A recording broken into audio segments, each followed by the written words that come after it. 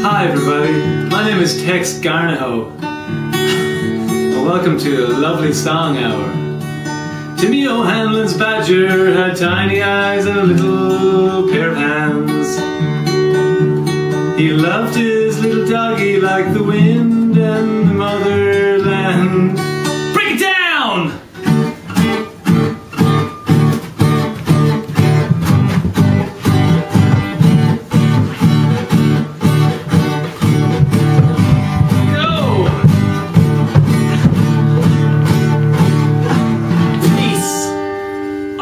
my foot.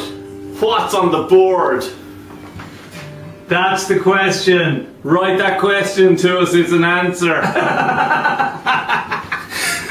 Street.